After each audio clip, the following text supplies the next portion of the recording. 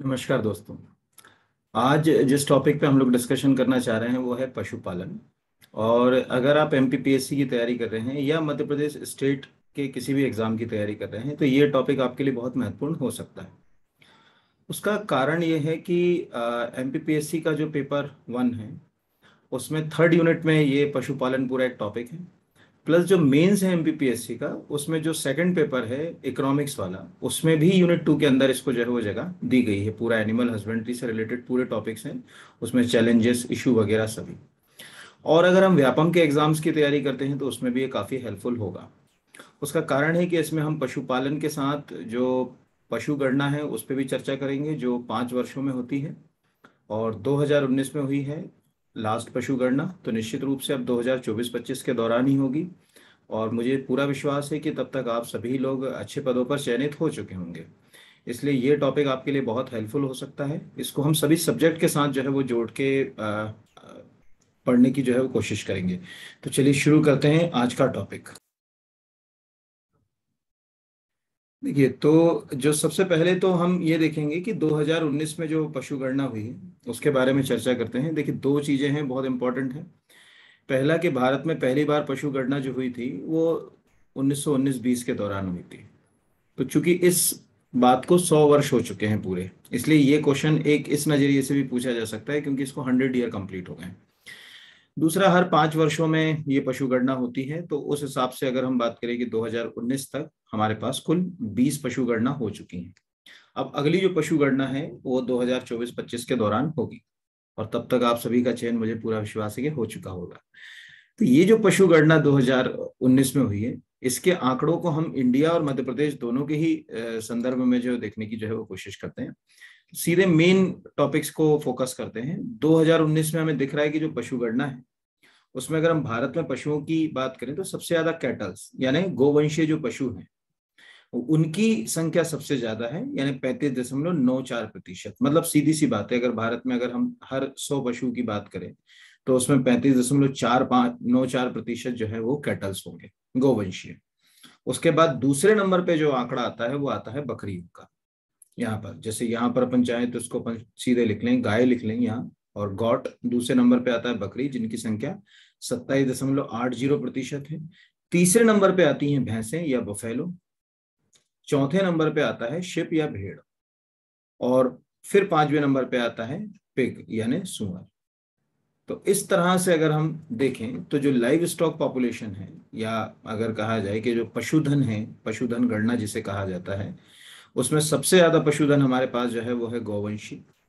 फिर दूसरे नंबर पर जो है वो हमारे पास है गॉट यानी बकरियाँ, फिर हमारे पास है भैंस या बफेलो, फिर है शिप और फिर चौथे नंबर पे पिग और बाकी में फिर जो है वो अदर है। तो अब हम देखते हैं कि इंडिया के रिस्पेक्ट में और एमपी के रिस्पेक्ट में क्या है, फिर एमपी के रिस्पेक्ट में और भी इसको जो है वो विस्तार से पढ़ने की जो है वो कोशिश करेंगे। निश्चित रूप से दिख रहा है, अगर 2019 के आंकड़ों में देखें तो 2012 में जहाँ हमारे पास जो कैटल्स की संख्या थी या गौवंशीय पशु जो थे उनकी संख्या अगर 190 मिलियन थी ये ध्यान रखिएगा कि पशु गणना में मिलियन में ही आंकड़े रहते हैं और मिलियन को आप जो है वो आ, करोड़ में भी जो है वो लिख सकते हैं क्योंकि हम सभी जानते हैं कि one million is equal to ten lakhs होते हैं। तो अगर हमको लगता है तो हम इसको करोड़ में भी जो है वो कन्वर्ट कर सकते हैं। तो 2012 की तुलना में 2019 में ग्रोथ हुई यानी कैटल्स की संख्या में बढ़ोतरी हुई पॉइंट एट थ्री परसेंट की ग्रोथ है। बफेलो की ग्रोथ ज़्यादा है उससे, एक दशमलव ज़ीरो छः और अगर मेन चार जो हमने पशुओं की बात करी अभी, यानी गाय, भैंस, भेड़ और बकरी तो सबसे ज़्यादा जो वृद्धि दिख रही है ग्रोथ दिख रही है, वो हमको बकरियों में दिख रही है। उसके पीछे भी कई तर्क है ना। पहला तर्क तो ये है कि बकरी का जो पालन है, वो मेनली जो है वो मांस के लिए भी हो रहा है और उससे हमें चमड़ा भी प्राप्त हो जाता है। है ना? तो वो अभी हम देखेंगे अभी भी कि आखिर क्यों ऐसा हो रहा है, क्यों ज़्यादा वृद्धि हो रही है, किस एनिमल्स की वृद्धि कितनी हो रही है। तो एक तो लाइव स्टॉक सेंसस में हमको ये चीज़ समझ पड़ी कि गौवंशीय पशुओं की संख्या, कुल जो है संख्या 2012 से 2019 की में जो है वो पॉइंट एट थ्री परसेंट जो है वो बढ़ गई। ये बस एक अपने को याद रखना और दूसरा बफेलो का याद रखना। ये दो फिगर्स हैं, बाकी को आप याद ना रखें तो भी जो है वो चल जाएगा मतलब इतना इशू नहीं है। लेकिन अब यहाँ से जो है वो कहानी बहुत इंपॉर्टेंट है, जो हमको पढ़ना चाहिए। अब आपके सामने जो टोटल अगर कहा जाए पशुधन की बात हो रही है तो टेक्निकली अगर आप यहाँ देखें कि ये जो दो आपको कलर अलग अलग दिख रहे हैं, ये जो रेडिश कलर दिख रहा है, ये आपको दिख रहा है 2012 की और ये दिख रहा है 2000 ठीक है 19 की गणना का। तो हमें दिख रहा है कि अगर देखा जाए तो जो शुरुआती जैसे सबसे ज़्यादा पशुधन हमें दिख रहा है कि भाई उत्तर प्रदेश राज्य में है, दो नो डाउट उत्तर प्रदेश के बाद दो सबसे ज़्यादा भारत में पशुधन जो है वो राजस्थान में है। तीसरे नंबर पर जो है वो मध्य प्रदेश है। लेकिन तीनों अगर हम इस डायग्राम को देखें तो हमें समझ पड़ रहा है कि जो उत्तर प्रदेश में 2012 में जो पशुधन था, वो अड़सठ दशमलव सात मिलियन। वो जो है, वो घटकर हो गया 67.8 मिलियन। यानी 2012 की तुलना में 2019 में उत्तर प्रदेश में पशुधन कम हो गया। ऐसे ही अगर हम राजस्थान की बात करें हम तो राजस्थान में भी यही चीज़ दिख रही है कि पशुधन जो है वो 57.7 मिलियन था। जो घटकर जो है वो 56.8 मिलियन बट मध्य प्रदेश में आपको यहाँ पर दिख रहा है। भले ही मध्य प्रदेश तीसरे नंबर पे आ रहा है पशुधन में, लेकिन मध्य प्रदेश में पशुधन बढ़ गया।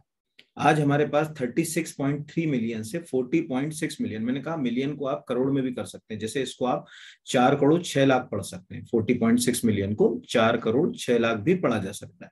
तो इस तरह से हमें यहाँ ये बात साफ़ समझ पड़ रही है कि शुरुआती भारत के अंदर जो टोटल पशुधन है अगर हम उन दस राज्यों की बात करें तो टॉप जो फाइव स्टेट्स हैं, उसमें उत्तर प्रदेश फ़र्स्ट पोजीशन पे है, राजस्थान जो है वो सेकंड पोजीशन पे आ रहा है, मध्य प्रदेश थर्ड पर आ रहा है वेस्ट बंगाल फोर्थ पर आ रहा है, और बिहार जो है वो अगर कहा जाए फिफ्थ पर आ रहा है। लेकिन शुरुआती जो टॉप थ्री स्टेट्स हैं सबसे ज़्यादा पशुधन वाले में, उनमें केवल मध्य प्रदेश ही एकमात्र ऐसा राज्य है, जहाँ पशुधनों की संख्या में धनात्मक वृद्धि हो रही है। यानी ये एक प्रश्न आपके लिए एमपीपीएससी के लिए और व्यापम के लिए, किसी भी एग्ज़ाम के लिए इंपॉर्टेंट हो सकता है कि जहाँ 2012 में मध्य प्रदेश में तीन करोड़ तिरसठ लाख पशु थे, वो 2019 में बढ़कर चार करोड़ जो है वो छह लाख हो गए। यानी कुल ग्यारह दशमलव आठ एक प्रतिशत की जो है वो पशुधन में हमारे यहाँ क्या हुई? वृद्धि हुई। ये एक सबसे टोटल पशुधन है ना, इसमें हम गाय, भैंस, बकरी, भेड़ आदि सभी पशुधन की बात कर रहे हैं। Total livestock livestock के अंदर ये आप याद रखिएगा, गाय भी आएगी, भेड़ भी आएगा, बकरी भी आएगा, ठीक है, यहाँ पर, और भैंसे भी आएँगी। लेकिन मुर्गियाँ जो है वो इसके अंतर्गत नहीं आती, ये ध्यान रखिएगा ना। मुर्गी जो है मछलियाँ, ये सब जो है वो इसके अंतर्गत लाइव स्टॉक के अंतर्गत नहीं आएगा पशुधन के। चौपाया पशुओं को कहा जाता है लाइव स्टॉक जो घरों के आँगन में पहले लोग पालते थे, चौपाया पशु उसके लिए वर्ड इस्तेमाल किया जाता है। तो एक तो ये समझ पड़ा कि हाँ भाई, मध्य प्रदेश की स्थिति अच्छी है और मध्य प्रदेश में ये रेट जो है वो पॉजिटिविटी के साथ आगे धनात्मक रूप से बढ़ रहा है। कुल पशुधन चार करोड़ छह लाख। अब इसमें अगर हम बात करें कि टोटल जो गौवंश है, गाय जो पशु है, कि भाई किस राज्य में गौवंशी पशुओं की संख्या कितनी है? कैटल्स में अगर कहा जाए तो हमें दिख रहा है कि यहाँ भी आपको एक अच्छा खासा फ्लेक्चुएशन देखने को मिलेगा। गौवंशी पशु में इस वाले डायग्राम से देखें सबसे ज़्यादा गौवंशी पशुओं में संख्या है आपकी वेस्ट बंगाल बड़ी सोलह दशमलव पाँच मिलियन से उन्नीस दशमलव ज़ीरो मिलियन हो गई। फिर उत्तर प्रदेश उन्नीस दशमलव छह से अठारह दशमलव आठ हो गई। मध्य प्रदेश उन्नीस दशमलव छह से अठारह दशमलव सात हो गई। अब ये बड़ा प्रश्न खड़ा हो गया कि भाई मध्य प्रदेश में, उत्तर प्रदेश में ये कम हो रही है। जो है वेस्ट बंगाल में बढ़ रही है। यार टेक्निकली अगर कहा जाए कि भाई वेस्ट बंगाल में गोवंशी जो पशु है या गाय कह ले हम सरल भाषा में, गायों की संख्या जो है सोलह दशमलव पाँच मिलियन से उन्नीस मिलियन हो गई, यानी पंद्रह परसेंट जो है वो गायों की संख्या बढ़ गई। उत्तर प्रदेश में minus three point nine three percent हो गई और मध्य प्रदेश में उन्नीस दशमलव छह मिलियन, यानी एक करोड़ छियानवे लाख, अगर हम इसको कहें, से एक करोड़ सत्यासी लाख रह गया, यानी अठारह दशमलव सात मिलियन केवल जो है वो गाय हमारे यहाँ रह गई है, minus four point four two. इसके पीछे क्या तर्क है? आखिर ऐसा क्यों हो रहा है?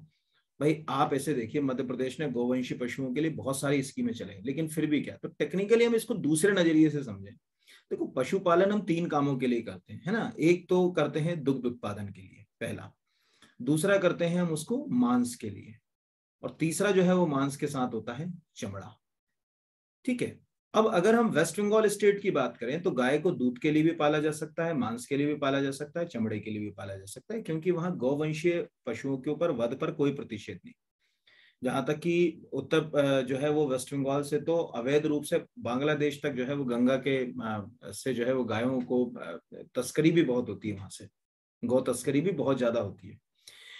लेकिन अगर हम मध्य प्रदेश की बात करें, इन तीनों राज्यों में तो मध्य प्रदेश ने गौवंशीय पशु जो है, उनके वध के ऊपर एक अधिनियम बना रखा है। एक्चुअल क्या है? ध्यान से समझिएगा।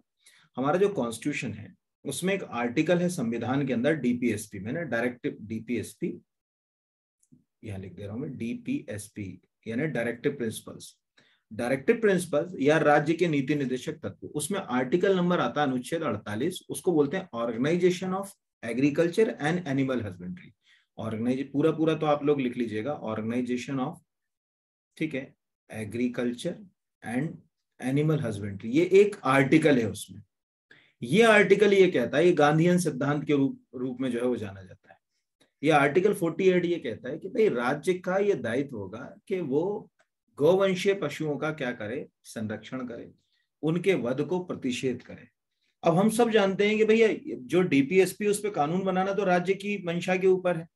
तो राज्य तय करेगा कि कानून बनाना है या नहीं बनाना है।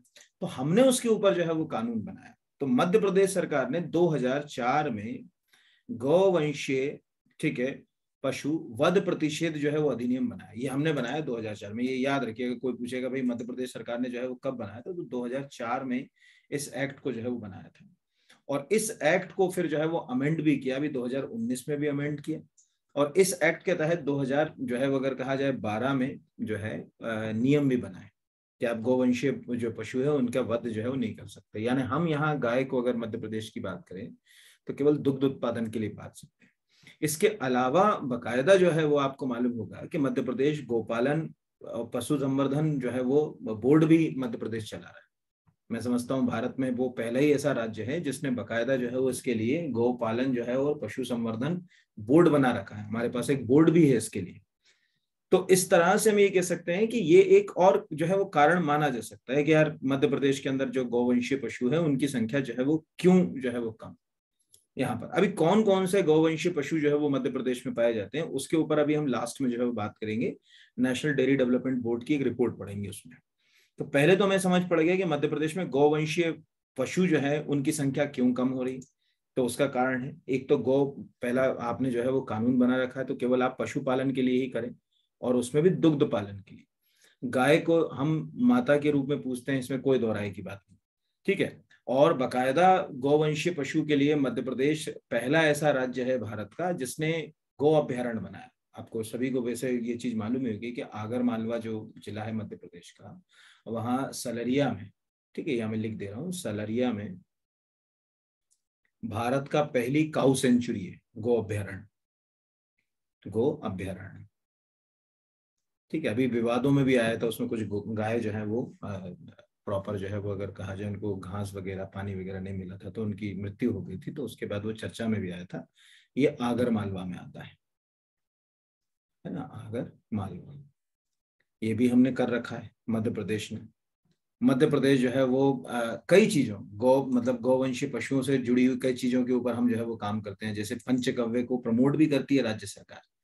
शायद आपको ना मालूम हो तो गाय से मिलने वाली पाँच चीज़ों को पंचगव्य कहा जाता है।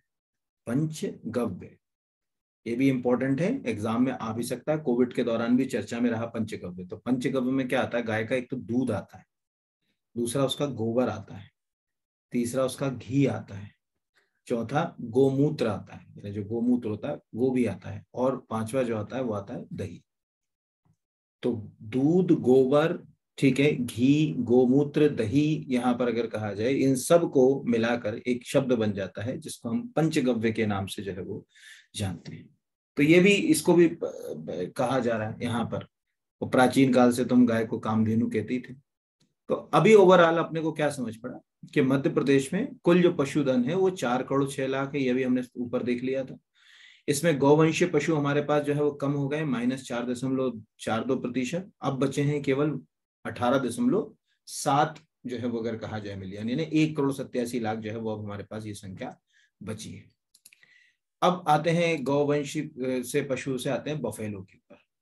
तो बफेलो में आपको दिख रहा होगा कि भारत में सबसे ज़्यादा जो भैंसें पाई जाती हैं वो उत्तर प्रदेश राज्य में, फिर दूसरे नंबर पे राजस्थान है, तीसरे नंबर पे गुजरात है, चौथे नंबर पे जो है वो मध्य प्रदेश इसमें हमारी स्थिति ठीक है। हमने मतलब अगर कहा जाए कि 2012 की तुलना में जो भैंसों की संख्या है वो हमारे यहाँ बढ़ गई।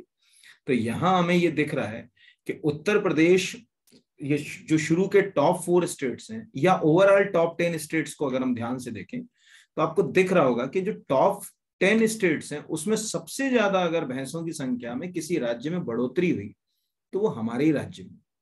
जहाँ हमारे राज्य में 2012 में भैंसों की कुल संख्या, आबादी जो थी, वो आठ दशमलव दो मिलियन थी। ठीक है, आठ दशमलव मतलब एक मिलियन, यानी दस लाख, यानी बयासी लाख थी। वो बढ़कर जो है वो दस दशमलव तीन मिलियन, यानी एक करोड़ तीन लाख जो है वो अब हो गई, यानी पच्चीस परसेंट मतलब बड़ा एकदम इतना तेज वो है। तो क्यों हो गई होगी, आप सोचो।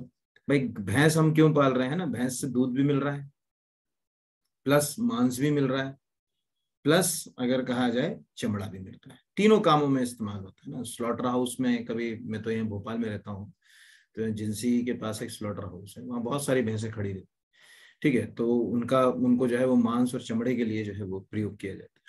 तो इस तरह से हमें चूँकि तीनों चीज़ें मिल रही हैं तो उसके ऊपर भी फोकस है यहाँ पर। तो ये एक और जो है वो चीज़ लिंक हो गई यहाँ पर मध्य प्रदेश के अंदर कि भाई क्यों आबादी है? मतलब देखिए, सबके अपने तर्क है। मेरा ये तर्क यहाँ पर अलग है। मुझे ये लगता है कि आबादी क्यों बढ़ी तो उसके कारण ये है कि क्यों पाल रहे हैं भैंस को लोग? इसीलिए जो है वो उसको पाला जा रहा है। तो यहाँ मध्य प्रदेश में भैंस जो है वो पशुओं की ये वाला फिगर याद रखिएगा और ये भी याद रखिएगा ओवरऑल पूरे हिंदुस्तान में सबसे दस टॉप स्टेट्स में हमारी जो, अगर कहा जाए जो चेंजेस हुआ, या जो प्रतिशत में वृद्धि हुई, वो मध्य प्रदेश में ही सबसे ज़्यादा हुई। ये क्वेश्चन भी बहुत इंपॉर्टेंट है और एग्ज़ाम पॉइंट ऑफ़ व्यू से किसी भी एग्ज़ाम में या मेंस में जो है वो आपको लिखने के लिए भी आ सकता है, व्यापम में आ सकता है, कहीं भी आ सकता है। फिर अगले नंबर पे आते हैं शिप यानी भेड़ों की संख्या के ऊपर। तो भेड़ में देखिए, मध्य प्रदेश अगर हम यहाँ देखें तो टॉप जो है वो अगर कहा जाए फाइव टॉप टेन स्टेट्स में मध्य प्रदेश अपनी जगह नहीं बना। क्योंकि मध्य प्रदेश में भेड़े जो है वो ना के बराबर ही है मतलब पाई जी नहीं जाती। तो अगर हम यहाँ टॉप टेन स्टेट्स में देखें तो तेलंगाना, आंध्र प्रदेश, कर्नाटका, राजस्थान, तमिलनाडु, ये पाँच वो सबसे महत्वपूर्ण शुरुआती राज्य हैं, जहाँ भेड़ों की संख्या जो है वो ज़्यादा है।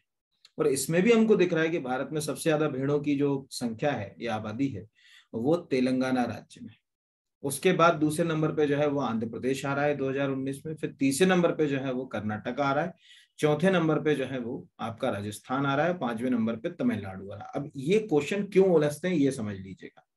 जैसे ही हमारे दिमाग में भेड़ शब्द आता है तो हमारा दिमाग पता नहीं क्यों कहाँ जाके टिक जाता है राजस्थान, क्योंकि हमने तो बचपन से मैंने तो जो है वो ऊँट वालों के साथ ही भेड़े देखी तो मेरे दिमाग में तो राजस्थान छपा हुआ है।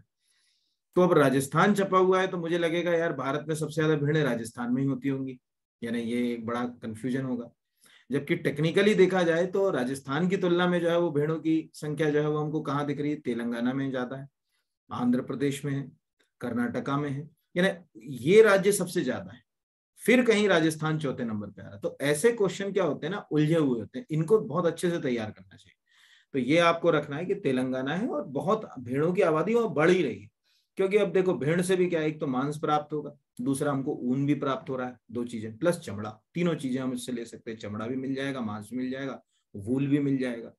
है ना? ऐसे भी आपको पता होना चाहिए कि जो वूल होता है भेड़ का, उसके लिए ऑस्ट्रेलिया दुनिया में सबसे बड़ा उत्पादक है कि वहाँ की जो है।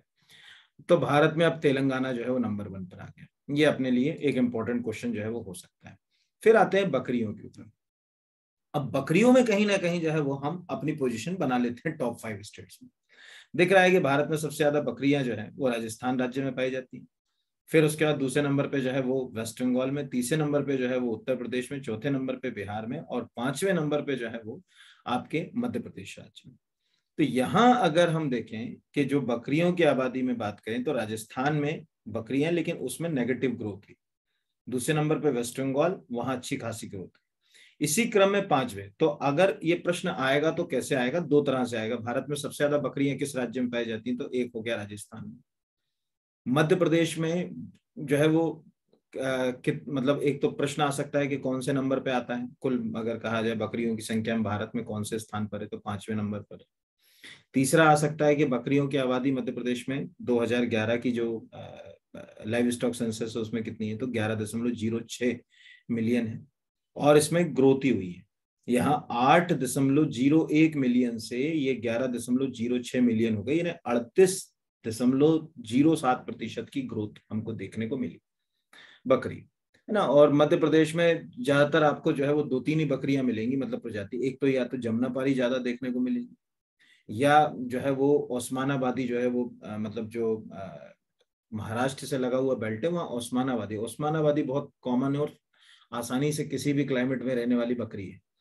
कुछ बकरियाँ ऐसी होती हैं जो आपको इन किसी राज्यों में नहीं मिलती। बकरियों में भी आप ये चीज़ याद रखिए सभी लोग, जैसे तमिलनाडु की बात करें तो तमिलनाडु में दो तरह की बकरी एक होती है जंगली, उसको नीलगिरी तहार बोलते हैं ना, वो यहाँ काउंट नहीं होगी, है ना, वो वाइल्ड गॉट है। जैसे जम्मू कश्मीर चले जाते हो, अब जम्मू कश्मीर में एक बकरी पाई जाती है जो सबको मालूम होगा, वहाँ पर पश्मीना। तो पश्मीना जो है वो भेड़ और बकरी मतलब बकरी की जो है प्रजाति। ऐसी हिमाचल में गद्दी नाम की बकरी पाई जाती।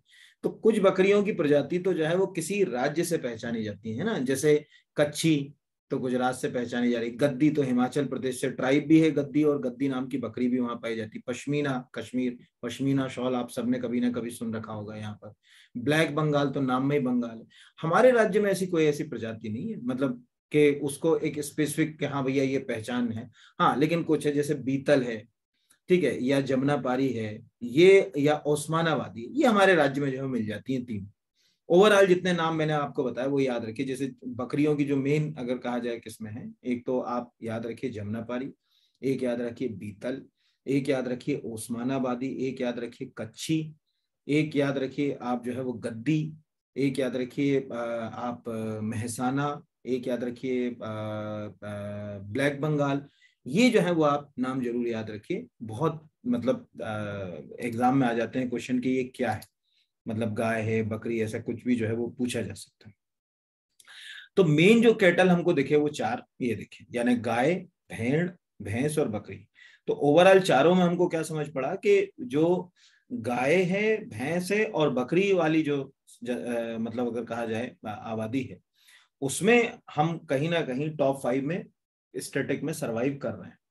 लेकिन भेड़ वाली में जो है वो हम टॉप टेन के अंदर कहीं भी जगह नहीं बना पा रहे और सबसे ज़्यादा नंबर वन पर हम कहा हैं? अगर कहा जाए गाय में। और उसी में जो है वो यहाँ पर। लेकिन गाय की आबादी हमारे यहाँ क्या हो रही? कम हो गई। भैंस की आबादी मध्य प्रदेश में क्या हुई है? हमने अभी देखा, सबसे ज़्यादा बड़ी पच्चीस दशमलव आठ आठ प्रतिशत, जो ओवरऑल इंडिया में ही सबसे अच्छी है। अब यहाँ से आगे बढ़ जाते हैं। फिर अगले पे आते हैं, यानी ओवरऑल इसको अब यहाँ तक करा है तो आगे देख लेते हैं, जैसे पोल्ट्री जो है वो पॉपुलेशन यानी जो कुक्कुट है। तो कुक्कुट में अगर हम देखें तो हम टॉप टेन स्टेट में कहीं जगह नहीं बनाते। हालाँकि हमारे पास मुर्गे की अच्छी किस्में हैं, जैसे कड़कनाथ है, नर्मदा निधि है, और जो नॉर्मली लोग खाते हैं, सफ़ेद वाला मुर्गा, वो बायलर। लेकिन फिर भी भारत में हम कहीं दस राज्यों में अपनी जगह जो है वो नहीं बना पा रहे हाँ अंडा उत्पादन में ठीक ठाक स्थिति पर है, जो अभी मैं आंकड़े आपको दिखाऊँगा।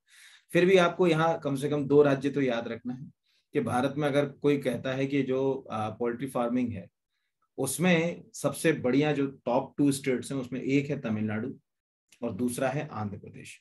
यहाँ एक दशमलव आठ मिलियन और आंध्र प्रदेश में एक दशमलव नौ मिलियन इनके आंकड़े मत याद रखिए। लेकिन तमिलनाडु, आंध्रा, तेलंगाना, ये टॉप थ्री स्टेट याद रखिए। फिर आते हैं पिग यानी सुअर पालन के ऊपर।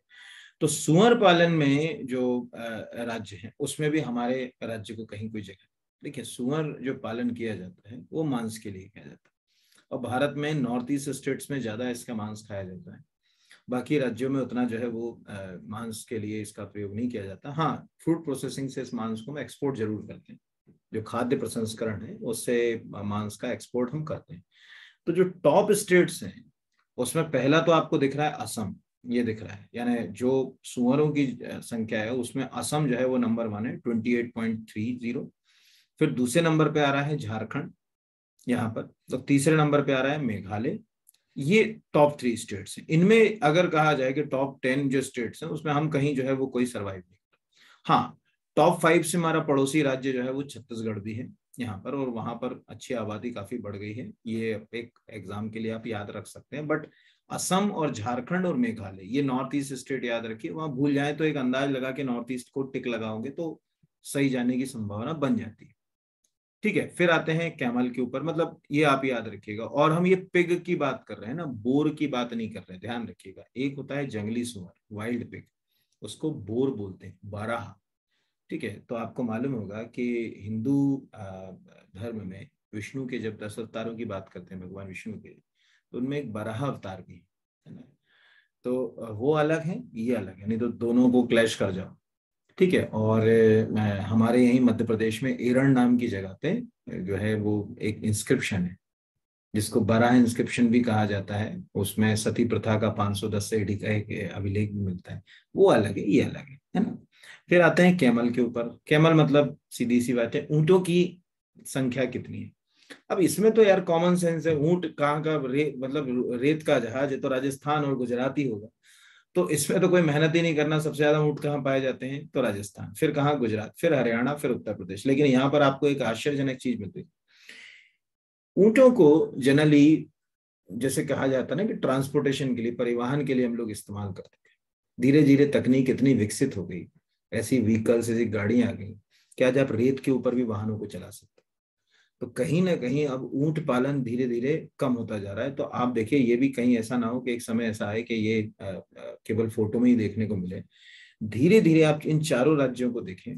चारों राज्यों में ऊंटों की जो संख्या है, राजस्थान में भी नेगेटिव में है चेंजेस गुजरात में भी नेगेटिव में है, हरियाणा में भी है, उत्तर प्रदेश में भी। मतलब बहुत तेज़ी से ऊंटों की संख्या कम होती जा रही है। 2012 से 2019 की जो वो अगर कहा जाए तुलना की जाए तो इसमें। तो ये एक चैलेंजिंग इशू हो सकता है आने वाले में।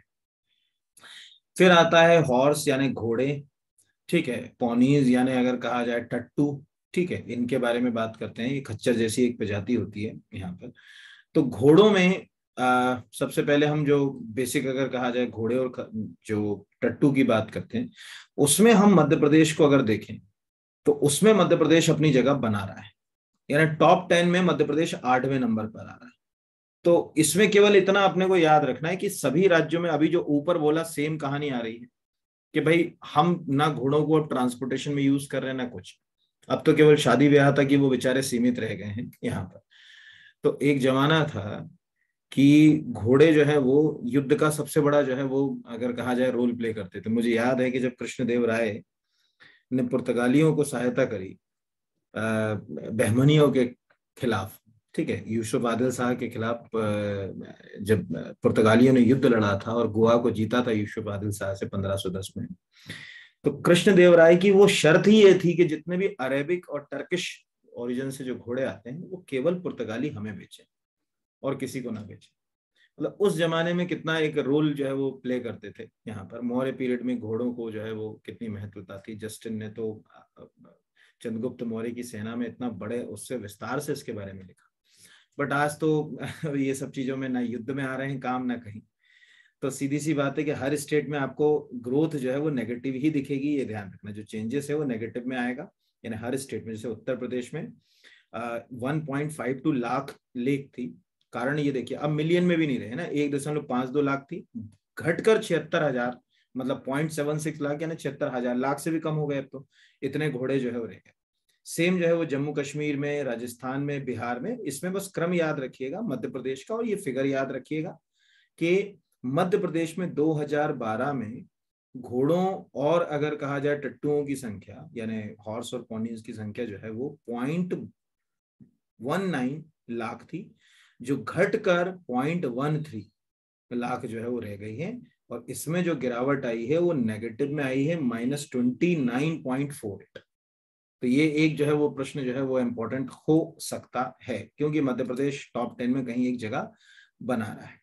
ठीक है, ये भी एक जो है कहा जाए। फिर आते हैं म्यूल्स यानी खच्चर। तो खच्चरों में भी अगर हम कहें, खच्चर माल ढोने वगैरह में जो है वो इस्तेमाल होते हैं। इनकी संख्या भी अब कम कम होती जा रही है। तो उत्तर, उत्तराखंड, हिमाचल, जम्मू कश्मीर, उत्तर प्रदेश और मध्य प्रदेश। चलो, इसमें हम खच्चरों की संख्या में पाँचवें नंबर पे हैं। ठीक है, समझ जाओ क्या कहना चाह रहा हूँ। तो मध्य प्रदेश में जो बात निकल कर आ रही है कि भाई यहाँ पॉइंट ज़ीरो सेवन थे, इनकी संख्या पॉइंट ज़ीरो थ्री हो गई नेगेटिव में आ गई माइनस सिक्स थ्री सीधी सी बात है कि अब हम खच्चर भी जो है वो नहीं पाल रहे, क्योंकि माल ढोने के लिए अब हमारे पास जो है वो बहुत मशीनें आ गई हैं, संसाधन आ गए हैं तो इनको धीरे धीरे लोग सोचते हैं कि अरे बर्डन ही है ये। तो मुझे लगता है कि आने वाले 20-25 साल में ये सब जो है वो प्रजातियाँ विलुप्त हो जाएँगी। इसमें कोई दोराई की बात नहीं, क्योंकि धीरे धीरे ये अपने अस्तित्व को खोती चली जाएँगी, है ना? संरक्षण जिस प्रजाति को नहीं मिला, वो अपना अस्तित्व जो है वो खो देती है, या अडोप्टेशन में जो ना ढल पाए, है ना? तो अडोप्टेशन में तो है, खैर, लेकिन देखने वाली बात है कि क्या होता है। तो ये पाँच जो है वो ये आपको याद रखना। फिर आते हैं डंकी यानी गधे।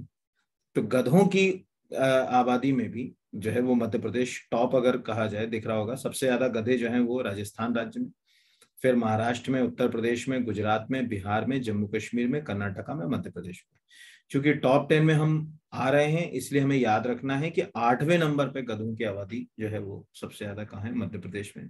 ये भी कम हो रही है। यानी एक आपके दिमाग में कंसेप्ट क्लियर हो गया होगा, चाहे हम गधे की बात करें, टट्टू की बात करें, खच्चर की बात करें, कैमल की बात करें।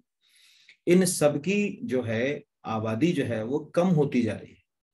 क्योंकि जिन मूल उद्देश्यों के लिए इनको पाला जा रहा था, वो मूल उद्देश्य अब पूर्ति नहीं हो रही। इसलिए मैंने शुरू में बोला था कि गाय की आबादी क्यों कम हो रही, भैंस की क्यों बढ़ रही, भेड़ की क्यों बन रही, आपका कंसेप्ट अब क्लियर होना चाहिए। जो हमारी मूल आवश्यकताओं को पूरी करेंगे, उनकी आबादी बढ़ेगी।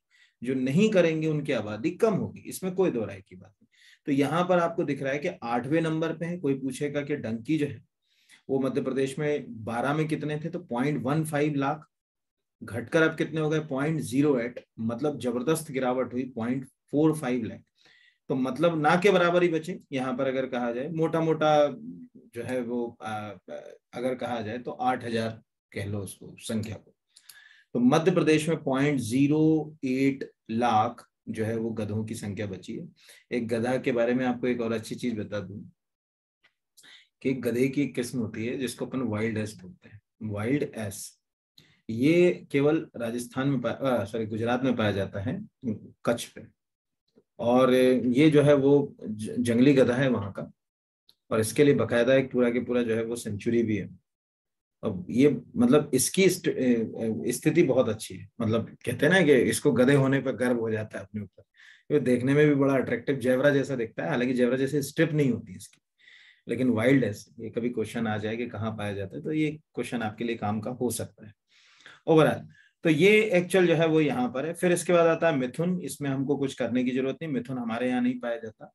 नॉर्थ ईस्ट स्टेट में पाया जाता तो अरुणाचल में मिथुन पाया जाता है। ये आप बस याद रखिएगा। अरुणाचल, बाकी राज्य नॉर्थ ईस्ट जितने भी नॉर्थ ईस्ट स्टेट होंगे, वही मिथुन जो है वो पाया जाएगा। ठीक है, याक तो याक भी सीधी सी बात है कि नॉर्थ ईस्ट या उत्तरी पूर्वी राज्यों में हिमालयन स्टेट्स में पाया जाएगा तो जम्मू कश्मीर में याक सबसे ज़्यादा पाया जाता है।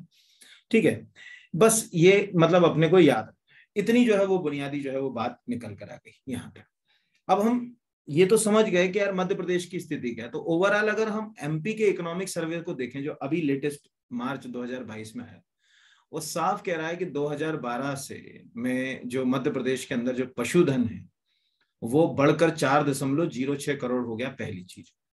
कुक्कुट और बदक की संख्या जो है वो बढ़कर एक सौ उन्नीस दशमलव ज़ीरो पाँच लाख से एक यानी one hundred and nineteen point zero five lakh से one hundred and sixty six point six lakh. ये कुक्कुट कुक्कुट मतलब मुर्गियाँ, ठीक है, और बदक जो है वो, इनकी संख्या जो है वो बढ़ी। ये एक अपने को याद रखना है एग्ज़ाम पॉइंट ऑफ़ व्यू से। अब इसमें मैं आपको एक फ़ाइल दिखाता हूँ। जो एग्ज़ाम के लिए भी आपके लिए जो है वो इम्पोर्टेंट हो सकती है, यही मैंने खोल रखी है साथ में तो ये अभी आपको दिख रही होगी। अगर हम मध्य प्रदेश में टेक्निकली देखें, जो, यूँ तो देखो गाय की बहुत सारी नस्लें हमारे यहाँ। ये फ़ाइल जो है वो नेशनल डेयरी डेवलपमेंट बोर्ड की एक रिपोर्ट है, वो मैंने वहीं से उठाई नेशनल डेयरी डेवलपमेंट बोर्ड की वेबसाइट से।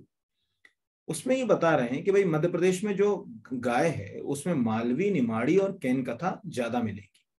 जैसे मालवी है तो वो बता रहे हैं कि राजगढ़ साजापुर और उज्जैन में मालवी जो है वो ज़्यादा है। भार वगैरह ढोने में जो है वो इसका इस्तेमाल ज़्यादा होता है। निमाड़ी जो है तो खरगोन, ये खरगान नहीं है ना, खरगोन खरगोन जो है, बड़वानी जो है, उसके आसपास जो है वो ज़्यादा पाई जाती है, धार, खरगोन, बड़वानी। और केन कथा जो है वो टीकमगढ़ उसके आसपास के जिलों में जो है वो ज़्यादा पाई जाती है।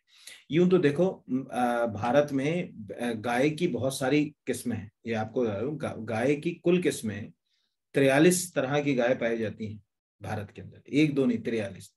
जिसमें से कम से कम जो है वो कुछ मैं आपको जो है वो लिख देता हूँ। दो चार आठ तो आपको कम से कम पता होना चाहिए।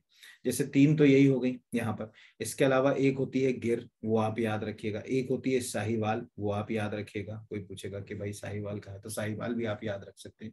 एक होती है लाल सिंधी, ये आप याद रखिएगा। एक होती है राजस्थान और पाकिस्तान से लगे हुए बेल्ट के ऊपर, उसको थार पार कर बोलते हैं। उसका नाम ही इसलिए पड़ा क्योंकि थार को पार करके आ जाती थार पार कर, ये भी आपको याद रखना, ये एक इम्पोर्टेंट है। एक कैन कथा जो है वो हमने यहाँ पर लिख ली। एक और बड़ा इंपॉर्टेंट नाम है, अमृत महल। ठीक है तो ये अमृत महल भी याद रखिएगा, अमृत महल है ना, ये याद रखिएगा। तीन ये हो, ये चार, पाँच, छ, सात, आठ। ये जो है वो, इसके अलावा नागौरी याद रखिए। कोई पूछेगा नागौरी, क्या है? तो नागौरी भी जो है वो गाय की एक जो है वो किस्म किस्म है? यहाँ पर। ठीक है, और एक होती है मबलाव और गबलाव। ये भी जो है वो अगर कहा जाए गाय की जो है वो किस्में जो है? ये सब जो है, पूरे भारत में पाई जाती है, लेकिन इनमें से मध्य प्रदेश में कौन सी पाई जाती है, उन पे हम जो है वो बात कर लेते हैं। तो ध्यान से देखिएगा, इस रिपोर्ट में उन्होंने बड़े अच्छे से जो है वो इस बात को जो है वो समझाने की कोशिश करी। उन्होंने दो तरह से इस रिपोर्ट को समझाया। एक, उन्होंने गाय का फ़ोटो भी लिया और दूसरा, उन्होंने ये बताया कि भाई किन किन जिलों के अंदर जो है वो गाय पाई जाएगी। तो तीन तो आपको पता चल गई, मालवी, निमाड़ी और केनकथा तो अपने को जो है वो बेसिक अगर कहा जाए, जिलों से जो है वो समझ पड़ रही कि कहाँ कहाँ जो है वो किन किन जिलों में जो है वो पाई जाएँगे। अब हम देखते हैं कि ये जो तो ये जो, इसको जो है, गलाव बोला जाता है ना, गलाव। इसको गोलाव कहा जाता है। गोलाव गुलाव नाम की गाय। ये मिलती है मंडला, बालाघाट, छिंदवाड़ा और सिवनी ज़िले में। मोस्ट मोस्ट आईएमपी करके लिख लीजिएगा एग्ज़ाम के लिए। ज़्यादातर इधर को छोड़ दीजिए। इधर ज़्यादा अपने लिए काम का नहीं अपने लिए जो है वो कोई पूछेगा कि भाई जो गुलाव जो है गाय की जो नस्ल है वो मध्य प्रदेश में कहा मिलेगी? तो एक बालाघाट में पाई जाती है। एक मंडला में पाई जाती है। एक सिवनी ज़िले में पाई जाती है और एक छिंदवाड़ा ज़िले में पाई जाती है। ये छिंदवाड़ा, ये चार जिलों में ये आपको ज़्यादा मिलेगी। मतलब कोई पूछे तो ये आप एग्ज़ाम के लिए याद रख सकते हैं। ठीक है, ये इंपॉर्टेंट हो सकता है, यहाँ पर क्या तो दो क्वेश्चन हो गए तैयार आपके। एक तो ये पूछ लेगा कि ये किसकी नस्ल है? तो गाय की। दूसरा कि किन जिलों में पाई जाएगी? तो ये जिलों के नाम आपको पता होना चाहिए कि भैया कौन कौन से जिलों की जो है वो बात यहाँ पर की जा रही है। फिर दूसरी जो है वो गाय की उसके ऊपर जाते हैं, नस्ल के ऊपर। यहाँ पर दिख रहा है गिर। अब गिर मुझे बताने की ज़रूरत नहीं। जो राजस्थान से लगा हुआ भिंड मुरैना वाला जो बेल्ट है, इससे पूरा के पूरा यानी यहाँ अगर हम बात करें कि ये अलीराजपुर है, इसमें पाई जाएगी। इधर झाबुआ जो है वो उसके लगा हुआ। तो अलीराजपुर, धार, नीमच, मंदसौर, इन पूरे क्षेत्र के आसपास भिंड मुरैना, ग्वालियर, शिवपुरी, इनमें सब में जो है वो गिर जो है वो गाय जो है वो अगर कहा जाए पाई जाती है। इसमें भी मेन जिसमें जिसे कहा जाए ना कि मेजर डिस्ट्रीब्यूशन की बात करें तो मेजर डिस्ट्रीब्यूशन में एक जगह ये हो गया। एक जिला कौन सा सबको मालूम है? धार। एक तो धार हो गया। दूसरा जो है वो जिला हो गया ऊपर वाला। तो ऊपर वाला ये जिला तो हो गया श्योपुर। और श्योपुर से लगा हुआ जो है वो है मुरैना।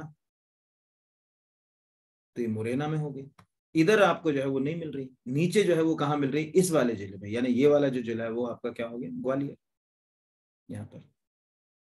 तो यहाँ पर आपको जो है वो गिर गाय जो है वो मिल रही गिर की जो है। और इधर नीचे चले जाएँ यहाँ पर। तो ये नीचे वाला जो जिला है यहाँ पर ये विदिशा हो गया। अब आप चाहो तो विदिशा लिखना हो तो लिख लो नहीं तो वैसे तो कोई काम का नहीं इतने ज़िले नहीं है। बट गिर भी हमारे यहाँ मिलती है ये हमको एक याद रखना है। फिर गिर के बाद जब अगली के ऊपर जाते हैं जैसे अगली जो है वो आ, दिख रही है आपको हाँ हरियाणवी। तो ये जो नस्ल है, ये भी आपको ज़्यादा मध्य प्रदेश में इसका विस्तार जो है वो ज़्यादा जिलों में नहीं मिलेगा। आप केवल दो जिलों के नाम याद रखिए, एक याद रखिए छतरपुर। ये वाला। ये पहला जिला। और दूसरा याद रखिए आप भिंड। ठीक है, बाकी आप छोड़ दीजिए तो भी जो है वो चल जाएगा। इन दो जिलों में जो है वो, यानी जो मेजर डिस्ट्रीब्यूशन है वो ज़्यादा इन जिलों में मिलेगा। फिर हरियाणवी के बाद जो है वो अगली जो है वो केन कथा। कीन कथा को जो है वो मोस्ट आईएमपी करके याद कर लीजिए। क्योंकि अभी भी मैंने आपको बताया था कि मध्य प्रदेश में जो गाय की नस्लें हैं, उसमें केन कथा जो है वो सबसे इंपॉर्टेंट है। यानी तीन जो नस्लें हैं, उनमें से एक जो है वो केन कथा को जो है वो जगह दी गई। निवाड़ी, मालवी के बाद अगर कोई नस्ल है जो मध्य प्रदेश की जो है वो पहचान है तो वो केन कथा ठीक है ये याद रखना। कीन कथा की जो मेन जो है वो नाम जो आया वो कहाँ से आया? मैंने क्या बताया था? कीन नदी से। तो कीन नदी जिन जिलों से होते हुए बहती उन जिलों के आसपास के क्षेत्र में जो है वो केन कथा नाम की जो है वो आ, कहा जाए कि मतलब गाय की जो है वो नस्ल जो है वो पाई जाती है। केन कथा नस्ल की सबसे बड़ी जो विशेषता है ये टीकमगढ़ के आसपास के जिलों में ज़्यादा देखने को मिलेगी। मतलब जो टीकमगढ़ से लगा हुआ पूरा जितना बेल्ट टीकमगढ़ से लगा हुआ है। वो पूरे पे जो है अगर कहा जाए, ये आपको देखने को मिलेगी। तो ये केन कथा के लिए आपको याद रखना है। ठीक है? फिर अगले पे केन कथा के बाद जो है वो चले जाते हैं यहाँ पर मालवी। तो मालवी तो अभी मैंने आपको बताई दी थी। वो कुछ बताने की ज़रूरत थी कि मध्य प्रदेश में जो गाय की तीन नस्लें हैं, उसमें सबसे इंपॉर्टेंट जो नस्लें हैं वो मालवी और निमा। अब आपको दिख रहा है कि मालवी नस्ल जो है वो इस पूरे बेल्ट में यहाँ। इन जिलों में जो है वो ज़्यादा पाई जाती है। और इन जिलों में जैसे नीमच है, ठीक है, मंदसौर है, इन इन मतलब इन जिलों के अंदर है, लेकिन फिर भी अगर मालवी को बेसिक अगर कहा जाए कि भाई सबसे ज़्यादा मध्य प्रदेश में कहाँ मिलेगी तो आप चार जिलों के जो है वो नाम याद रखिएगा। एक याद रखिएगा रतलाम, मैं नाम बता दे रहा हूँ। दूसरा आप याद रखिएगा उज्जैन।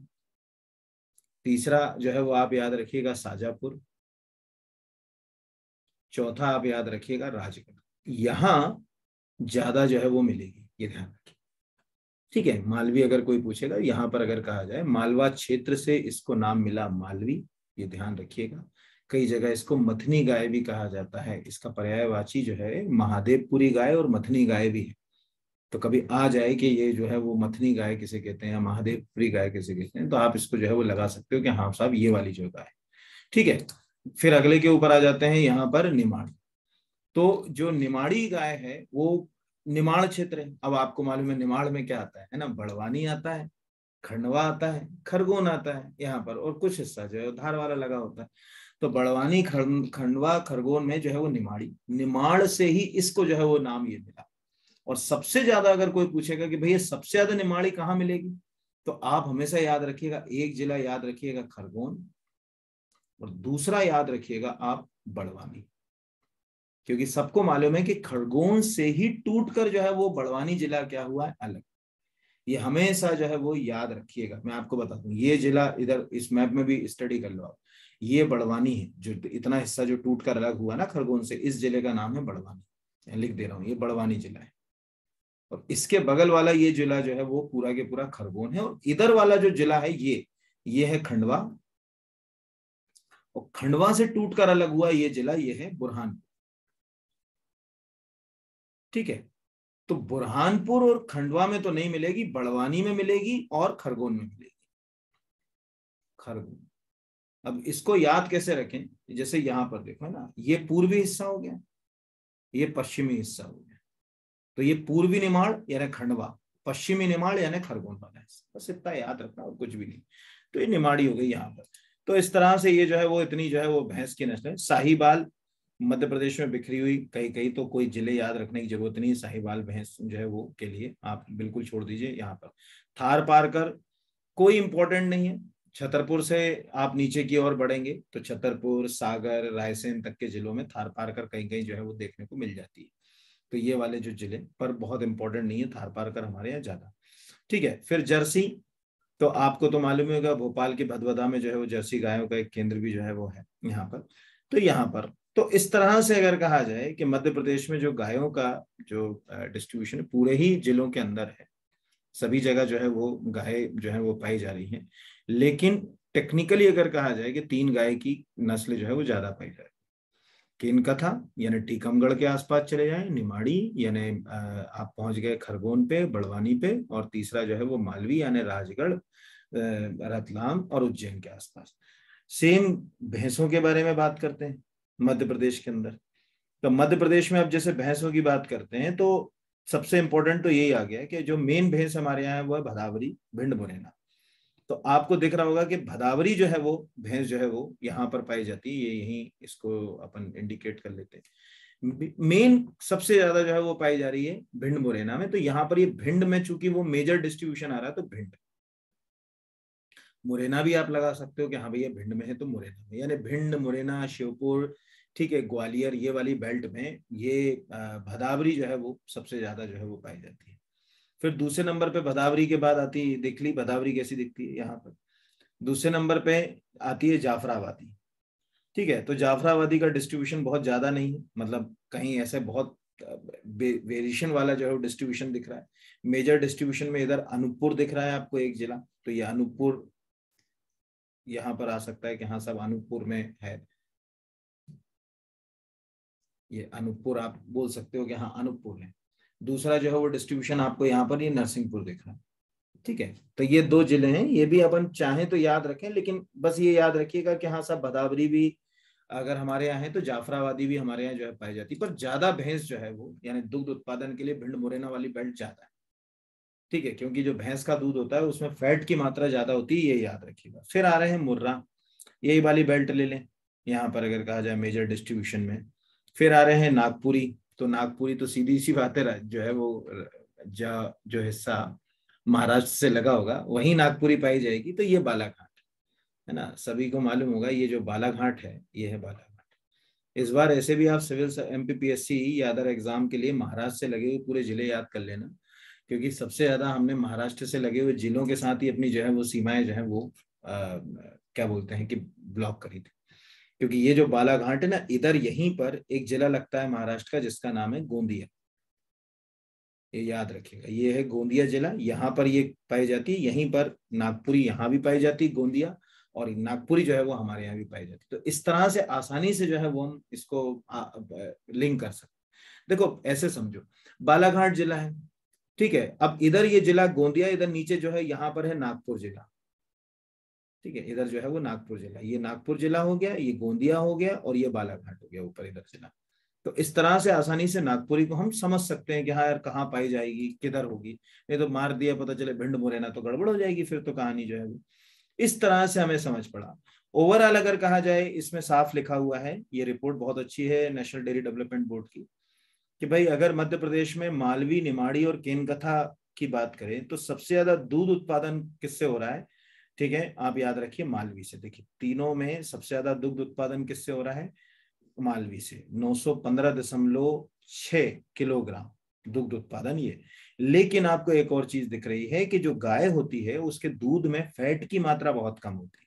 इसलिए मिल्क बेस्ड प्रोडक्ट जैसे दही, पनीर, चीज़ आदि बनाने में लिए गाय के दूध का ज़्यादा उपयोग नहीं हो पाता।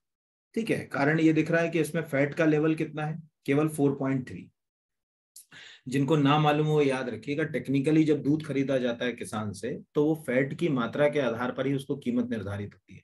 जितना ज़्यादा फैट का परसेंट होगा, उतनी उसको कीमत ज़्यादा मिलेगी। जो लैक्टोमीटर सुना है ना, वो दूध की शुद्धता कैसे निकालता है, वो उसके फैट को ही पताता है कि दूध में फैट की मात्रा कितनी। आप कितना भी पानी डाल लो आपने पता चले एक लीटर में दो लीटर पानी डाल दिया तो फैट ऑटोमेटिकली क्या हो जाएगा उसमें? जो डायल्यूट फैट है, वो कम दिखने लगेगा उतने पानी के अंदर। तो इलेक्ट्रोमीटर एक फ़िल्म बनी थी मंथन डॉक्टर वर्गीस कोरियन के जीवन पर है। कभी देखिएगा नेशनल डेयरी डेवलपमेंट बोर्ड ने ही वो फ़िल्म बनाई है, जो बिलियन लीटर आइडिया है ना, जिससे आज आनंद जो है डेयरी इतनी बड़ी दुनिया में जो है वो प्रसिद्धि पा रही है। उसमें बताया गया है कि कैसे जो है वो मिल्क फैट जो है वो निकाला जाता है। तो हमें समझ पड़ा कि गाय के दूध का हम ज़्यादा इसमें इस्तेमाल नहीं कर सकते 4.3 हाँ लेकिन एक चीज़ समझ पड़ा कि मालवी और निमाड़ी में निमाड़ी गाय के दूध में फैट की मात्रा ज़्यादा होती है। फिर सेम जो है वो अगर कहा जाए अगर हम भैंसों की बात करें तो भैंस में आपको दिख रहा है कि जो फै, फैट है वो 7.88 है। ये अच्छा है। यानी भदावरी जो भैंस की किस्म अभी हमने कहा भिंड मुरैना के आसपास क्यों भैंस पालन हो रहा है? क्योंकि फैट ज़्यादा है। मिल्क बेस्ड इंडस्ट्री वहाँ बहुत है। कई बार आपने सुना होगा भिंड मुरैना ग्वालियर में अवैध मावा पकड़ाया, अवैध जो है वो घी पकड़ाया, वहाँ पर बहुत चलता है ये सब कारोबार। तो ये फैट की मात्रा जो है वो औसत दूध में 7.88 परसेंट ना। इसको कैसे याद रख सकते हो? कल का ही ले लो, आप जब ये लेक्चर सुन लो, दूसरे दिन आप जब दूध डेयरी पर जाओगे, वहाँ तीन चार तरह के पैकेट मिलते हैं, हरा कलर का, नीला कलर का, लाल कलर का, उसमें एक गोल्ड आता है। तो उसमें सबसे ज़्यादा चूँकि जो है वो फैट होता है, चिकनाई वाला, इसलिए उसकी कीमत ज़्यादा होती है। सब आधा लीटर के हैं, लेकिन जिसमें जितनी फैट की मात्रा ज़्यादा, उतनी कीमत उसकी बढ़ गई। तो यहाँ पर ये बात जो है वो सेवन पॉइंट एट एट हो गई। ये हमारे पास के भदावरी जो भैंस है, उसका जो है वो दूध है, उसमें seven point eight eight fat होता है। इसलिए उसका पालन जो है वो ज़्यादा हम लोग जो है वो कर रहे हैं। ये एक एग्ज़ाम पॉइंट ऑफ़ व्यू से प्रश्न जो है वो पूछा जा सकता है। वापस जो है वो मतलब ये एमपी के अंदर के लिए जो है वो इतनी चीज़ें यहाँ तक हुई। फिर वापस जो है वो यहीं पर आ जाए। अब अगर हम मध्य प्रदेश के अंदर देखें तो मध्य प्रदेश में दो तीन चीज़ें आपको और याद रखना है ना, जो काम की हो सकती हैं यहाँ पर, वो नीचे चले गए। मध्य प्रदेश में जो गौवंशीय पशु है ना, उनके, एक सेकेंड थोड़ा ऊपर कर दो। उनके गौवंश पशुओं के लिए बकायदा जो है वो हमारे पास आठ जो है वो पशु प्रजनन केंद्र है। ठीक है, इनमें सबसे पुराना आपको यहाँ पर जो दिख रहा होगा 1917 का ये बालाघाट यहाँ साहिबाल शंकर जर्सी के लिए है, फिर इसी तरह पन्ना में है केनकथा के लिए, छिंदवाड़ा में है, साहिबाल के लिए।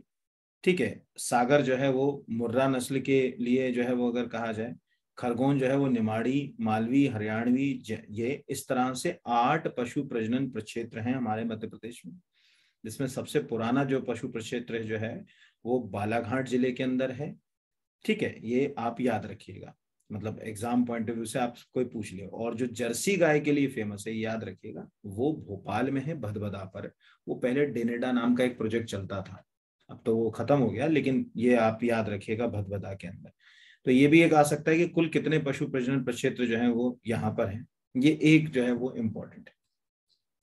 अब थोड़ा सा मध्य प्रदेश के इकोनॉमिक सर्वे की भी बात कर लें। कि भाई हम कहाँ खड़े हुए हैं, दुग्ध उत्पादन और तो एक चीज़ तो साफ़ दिख रही है कि 2021-22 का जो अभी जो सर्वे आया है इकोनॉमिक सर्वे 2022 में, उसमें हम हर चीज़ में हमारा उत्पादन बढ़ रहा है। जैसे मिल्क प्रोडक्शन की बात हम कर रहे हैं यहाँ। तो मिल्क प्रोडक्शन आप देख रहे होंगे, ये हज़ार मेट्रिक टन में है। कोई पूछेगा कि भाई मिल्क प्रोडक्शन काय में निकाला गया? तो थाउज़ेंड मेट्रिक टन में। जब भी कोई यूनिट निको तो उसको ज़रूर ये याद रखिएगा। और मेट्रिक टन और टन में कोई अंतर नहीं होता। नहीं तो आप कंफ्यूज हो जाओ कि टन अलग होगा मेट्रिक टन होगा। एक टन में ही एक मेट्रिक टन होता। दोनों बराबर ही है। यानी एक हज़ार किलो का एक टन होता। है इसी को तकनीकी रूप से मेट्रिक टन पढ़ा जाता है। तो हमें दिख रहा है कि भैया पिछले अगर हम पाँच साल का रिकॉर्ड देखें तो 2016-17 में जहाँ 13,445 थाउज़ेंड मेट्रिक टन या तेरह हज़ार चार सौ पैंतालीस हज़ार मेट्रिक टन हमने दूध का उत्पादन किया। वो 2020-21 में बढ़कर 13,445 से बढ़कर हो गया 17,999 हज़ार मेट्रिक यानी दुग्ध उत्पादन इससे साफ़ है कि जो भैंस वाले वंश पशु हैं या भैंसों का पालन हम क्या कर रहे हैं? ज़्यादा कर निश्चित रूप से हमारे लिए एक बहुत अच्छी अपॉर्चुनिटी भी हो सकती है क्योंकि food processing industry milk based product की बहुत अच्छी है। मतलब डेयरी प्रोडक्ट का खाद्य प्रसंस्करण एक बहुत अच्छा उद्योग जो है बन सकता है तो वो भी आप कह सकते हो कि हाँ साहब, ये तेज़ी से जो है वो बढ़ रहा है। ठीक है कंपेरेटिव स्टडी हमेशा जनरली मैंने जितना अनुभव अपना है, वो पाँच साल के अंतर वाली आती है, यानी 2016-17 का आंकड़ा 2020-21 से कंपेयर करेगा। तो ये अगर आप ना याद करो तो चल जाएगा, लेकिन ये दोनों कंपेयर ज़रूर करना कि 2016-17 में जो उत्पादन था, वो तेरह हज़ार मेट्रिक टन था जो बढ़कर जो है वो 2020-21 में जो है वो सत्रह हज़ार नौ सौ निन्यानवे जो है वो मैट्रिक टन हो गया। ये दुग्ध उत्पादन है। सेम दुग्ध उत्पादन से आगे जाए हम। दूसरे नंबर पे जाएँ, अंडा उत्पादन। अंडे में भी हमको दिख रहा है कि जो अंडा उत्पादन है, भले ही हम टॉप टेन कुकुट में नहीं आ रहे, अभी हमने बताया था कि टॉप टेन में हमारी कहीं कोई जगह नहीं है, लेकिन फिर भी अंडा उत्पादन में जो है वो हम सोलह, अब ये लाख में आ रहे हैं ना। अंडा उत्पादन का होगा मैट्रिक टन में नहीं होगा, लाख में होगा, क्योंकि काउंट करोगे गिनती है इनकी। तो अंडा उत्पादन 2016-17 में जो था वो हमारे यहाँ था 16,940 लाख। ठीक है? वो बढ़कर जो है हो गया 16,000 से सीधे जो है वो 26,516 लाख। यानी सीधी सी बात है अंडा उत्पादन में। संडे हो या अंडे मंडे रोज खाओ अंडे यहाँ पर। वो अंडा उत्पादन भी जो है वो तेज़ी से हमारा बढ़ रहा है। यहाँ पर यानी कुक्कुट पालन में भी हम आगे बढ़ रहे हैं लेकिन आ, मतलब मालूम होगा मुर्गी को दो चीज़ों के लिए तो पाला जाता है अंडे और मांस के लिए। है ना? तो ये एक बेसिक है। अंडा उत्पादन की दो फिगर याद रखिएगा। इसमें कोशिश करिएगा कि 19-20 का आंकड़ा भी याद कर लीजिएगा कि जो है वो तेईस हज़ार सात सौ चौरानवे लाख से छब्बीस हज़ार पाँच सौ सोलह लाख अंडे का उत्पादन हो गया। बाकी तो आप पूरे पाँचों फिगर याद करें तो बहुत अच्छा होगा। लेकिन फिर भी कंपेरेटिव दो स्टडी ज़रूर आती है। ठीक है, फिर आते हैं मांस में। मांस जो है हम एक्सपोर्ट भी करते हैं। ठीक है ये ध्यान रखिएगा। और फ़ूड प्रोसेसिंग इंडस्ट्री भी इसके ऊपर बहुत सारी टिकी हुई है। तो seventy nine thousand metric ton मांस का उत्पादन किया था 2016-17 में। बढ़कर ये कितना हो गया? 116 यानी लगातार अगर कहा जाए कि आ, आ, हमारा जो मांस उत्पादन है वो तेज़ी से क्या हो रहा है? बढ़ रहा है। ये आपको याद रखना। तो ये प्रश्न जो है वो अगर कहा जाए आपसे पूछा जा सकता है। मतलब एग्ज़ाम में ये प्रश्न हमेशा जो है वो आ सकता है।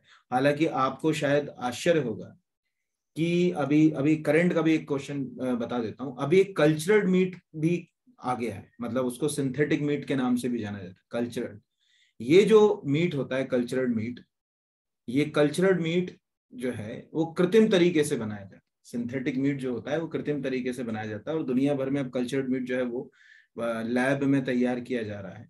और बिकने के लिए तैयार है। तो आने वाले समय में तो मुझे लगता है कि कल्चरल मीट ही जो है चलेगा। पशुओं की जगह ये भी हो सकता है। और 2020 में ये पहली बार बहुत ज़्यादा चर्चा में भी रहा। तो इसको आप अपने स्तर पर एक बार जो है वो कल्चरल मीट को पढ़ भी लीजिएगा। इससे जुड़े हुए जो है वो टॉपिक्स ओवरऑल ये तो अपने को समझ पड़ गया कि मांस उत्पादन में हमारी जो है वो क्या भूमिका है। ले देकर हमने पूरी कहानी को समझा और हमें समझ पड़ा कि भाई जो है, मध्य प्रदेश के अंदर गौवंशीय पशुओं की संख्या कम हो गई। क्यों कम हो गई? उसके पीछे कई सारे तर्क मैंने आपको दिए, कानून भी दिए, ठीक है, लोगों का उसके प्रति रुझान कम है, वो भी दिए। पशुओं में होने वाले रोग भी एक कारण बन रहे हैं, लोग पशुपालन से दूर होते जा रहे हैं। ठीक है, कृषि कार्यों के लिए पशुओं की आवश्यकता हमको पड़ नहीं रही। जैसे इसमें आप दो तीन जो है वो चीज़ें याद रखिएगा पशु रोग में, जैसे भारत सरकार अभी पशु, जो चौपाया पशु होते हैं उसमें सबसे ज़्यादा जो रोग होता है, उसको बोलते हैं एफएमडी सबसे ज़्यादा, है ना? Foot and mouth disease. ये एक वायरल जो है, वो डिज़ीज़ होती है विषाणु जनित रोग होता है।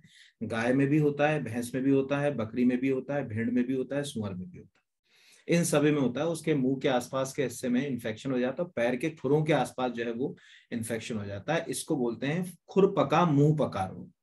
गाँव के अगर कोई पूछेगा, भाई, गाँव वाले जो लोग हैं, उसको क्या बोलते हैं? तो इसको खुर पका और मुँह पका के नाम से जो है वो गाँव के लोग जो है वो ज़्यादा जानते हैं।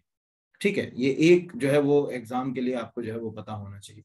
दूसरा जो है, वो एक और पशुओं के अंदर बैक्टीरियल इन्फेक्शन होता है, जिसको ब्रोसोलिस कहा जाता है।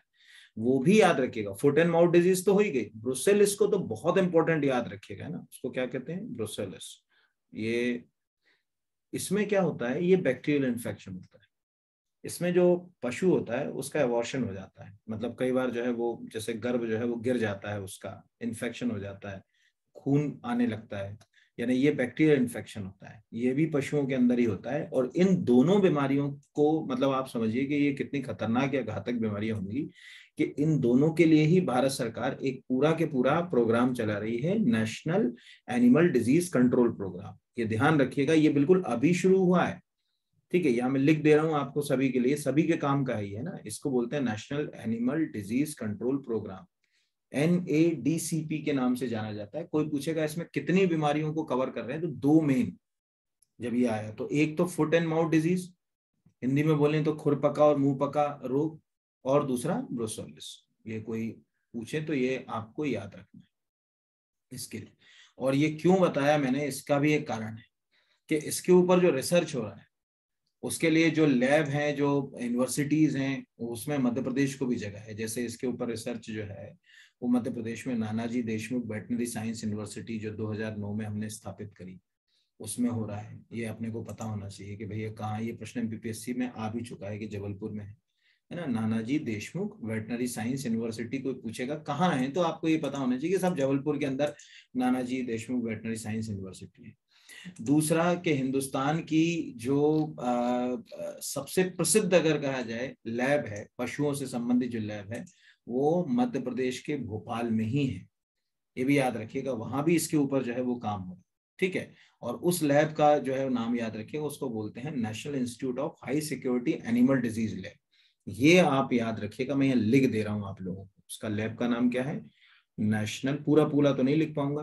आप पूरा लिख लीजिएगा, national institute of high security animal disease lab, या डिज़ीज़। भोपाल में है, क्यों आ सकता है समझिएगा। बायोसेफ्टी लेवल फोर की सबसे चर्चित लैब है पूरे हिंदुस्तान में। ठीक है? ये ध्यान रखिएगा। हिंदी में बोलते हैं राष्ट्रीय उच्च सुरक्षा पशु रोग संस्थान। ये भी हमारे मध्य प्रदेश के भोपाल में। तो ये एक जो है वो आपको जो है वो आ सकता है कि हम प्रयास तो कर रहे हैं। ठीक है, कई तरह की योजनाएँ भी चला रहे हैं। सरकार जो है वो गोवंशी पशुओं की संख्या जो कम हो गई इसको बढ़ाने के लिए। कई योजनाएँ चला रहे हैं। ठीक है, मध्य प्रदेश सरकार के द्वारा भी जैसे नंदी साला योजना शुरू कराई गई। ठीक है, भारत सरकार के द्वारा जो है वो आपको गोकुल राष्ट्रीय गोकुल मिशन, इंडिजीनियस जो ब्रीड होती है ना, देसी जो किस्में होती हैं, वो देशी किस्मों को सुधारने के लिए कि भाई देशी किस्में जो है वो उसमें नस्ल सुधार हो जाए, उसके लिए हम जो है वो प्रोग्राम चला रहे हैं। तो मध्य प्रदेश सरकार ने एक योजना बनाई है नस्ल सुधारने के लिए, उसका नाम है नंदीशाला योजना। और भारत सरकार ने शुरू करी है, उसका नाम है राष्ट्रीय गोकुल मिशन, ये याद रखिएगा।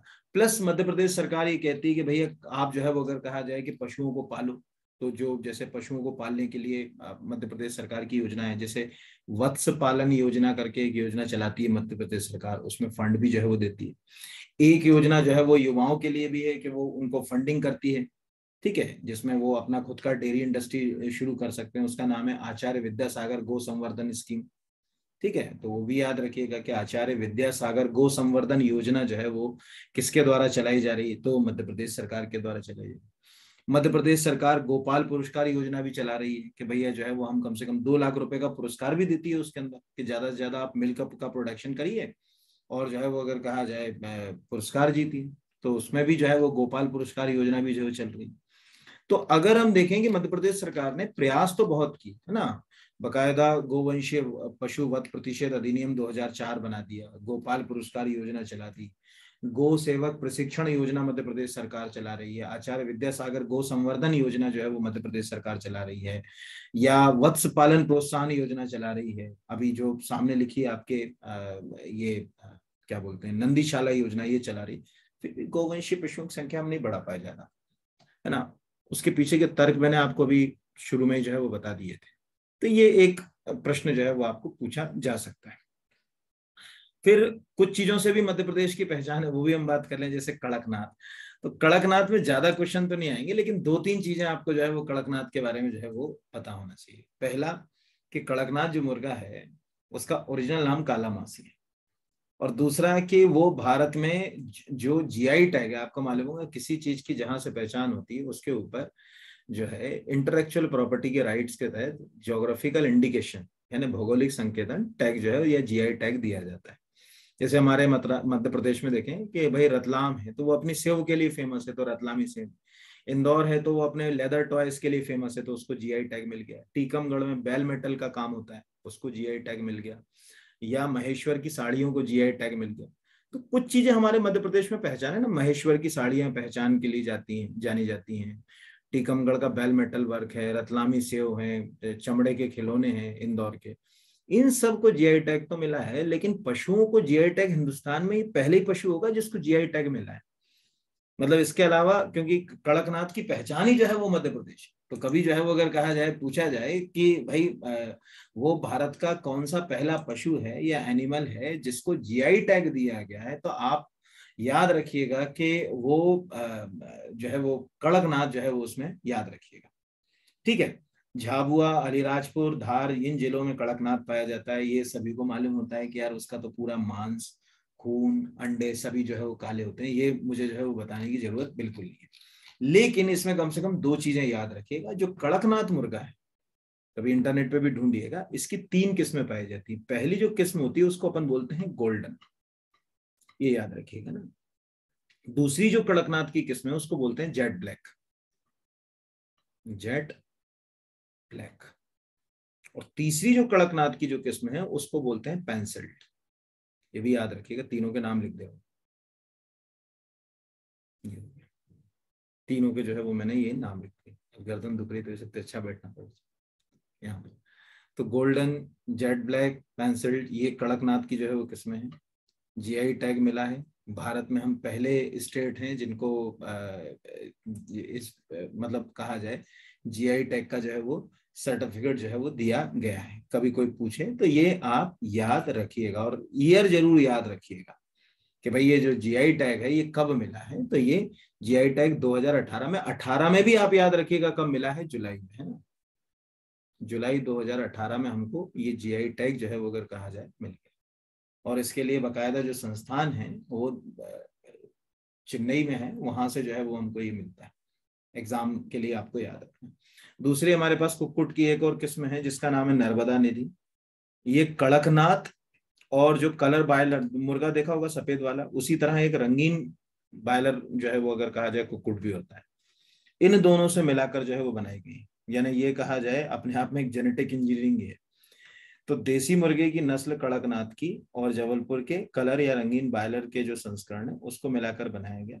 इसकी इम्यूनिटी बहुत अच्छी होती है, टीके की ज़रूरत नहीं होती है आसानी से किसी भी टेम्परेचर पर किसी भी उसमें सरवाइव कर जाती है। इसलिए ये भी अभी काफ़ी जो है वो चर्चा में है और नानाजी देशमुख पशु चिकित्सालय विश्वविद्यालय जबलपुर ने ही जो है वो इसको तैयार किया तो इस तरह से हम ये भी कह रहे हैं। मतलब ऐसा है कि कुक्कुट में भले ही हम टॉप टेन में नहीं, लेकिन हम काम ज़रूर कर रहे हैं। मैं आपको शायद ना मालूम होगा कि उन्नीस सौ बयासी में, ये याद रखिएगा, मध्य प्रदेश राज्य पशुधन और कुक्कुट विकास निगम की स्थापना तो 1982 में ही हम कर चुके थे, उन्नीस सौ बयासी में। तब से काम कर रहे हैं इसके ऊपर है ना? और इसमें जो है वो पहचान बनाई। तो इस तरह से अभी जितने भी हमने जो बात करी उसमें आपके दिमाग में ये बात तो सबके में सेट हो ही गई होगी कि किन पशुओं में हम जो है वो आ, किस पोजीशन के ऊपर आ रहे हैं? मध्य प्रदेश में गाय कहाँ पाई जा रही है? भैंस कहाँ पाई जा रही है? एक बात आपके दिमाग में साफ़ सेट है कि भैया जो भैंस है वो दुग्ध उत्पादन के लिए मांस के लिए चमड़े के लिए तीनों के लिए आ रही है। भिंड मुरैना, ग्वालियर शिवपुर के आसपास भैंस जो है वो ज़्यादा पाली जा रही है। मतलब ऐसे क्वेश्चन आपको एग्ज़ाम में आ सकते हैं। तो मुझे विश्वास है कि इसमें से कोई ना कोई क्वेश्चन एग्ज़ाम में इस बार आपको ज़रूर सहायता करेगा। बाकी छोटे छोटे जो वन लाइन फैक्ट्स वाले क्वेश्चन होते हैं, वो आप, मुझे लगता है कि खुद भी जो है वो तैयार कर सकते हैं। इसमें मैंने थोड़ा सा क्वेश्चंस को डिस्क्रिप्टिव बनाने की और उसके साथ जोड़कर जो है वो पढ़ाने की आपको कोशिश करें। तो बहुत बहुत धन्यवाद आप सभी का सहयोग के लिए। और इसी तरह से साथ में बने रहिए। अगर वीडियो अच्छा लगता है तो निश्चित रूप से लाइक ज़रूर करिएगा। कोशिश करिएगा कि अगर हो सके तो शेयर भी कर दीजिए हमारे वीडियो को, जिससे हमारा मनोबल और बढ़े। सभी को बहुत बहुत धन्यवाद आप सभी को।